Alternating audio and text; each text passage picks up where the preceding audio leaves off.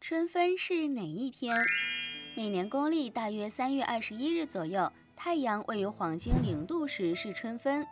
春分是二十四节气之一，是二十四节气中的第四个节气。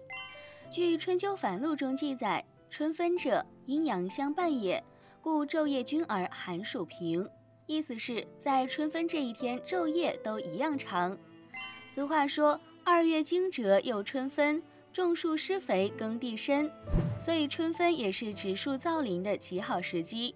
春分后，南方大部分地区各地气温回升，越冬作物进入春季生长阶段。